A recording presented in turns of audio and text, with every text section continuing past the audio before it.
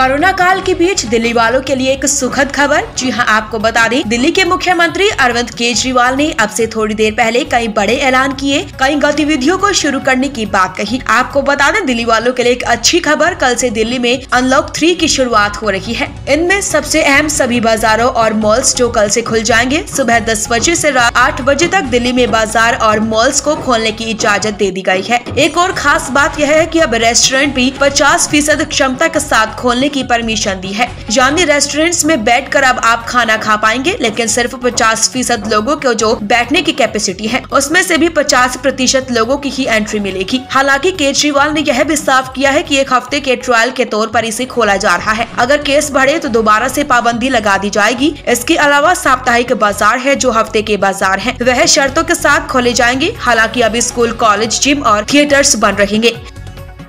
कल सुबह पाँच बजे इस बार, इस हफ़्ते का जो लॉकडाउन है, वो ख़त्म होगा।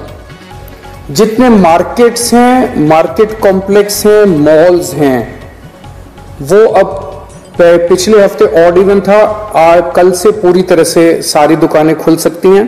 दस बजे, लेकिन दस बजे से आठ बजे तक शाम को।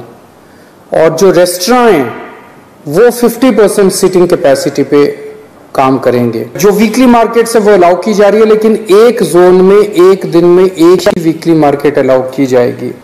ये एक हफ़्ता हम लोग देखेंगे मार्केट्स और रेस्टोरेंट्स का।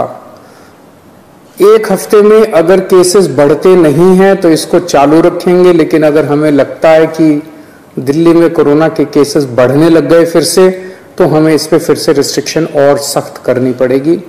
इसलिए मेरी आप सब लोगों से गुजारिश है कि सभी मार्केट एसोसिएशन सभी दुकानदार और सबसे गुजारिश है भीड़ ना होने दें।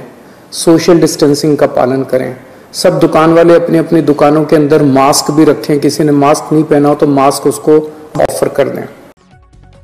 आप देख रहे हैं दैनिक दिल्ली न्यूज़।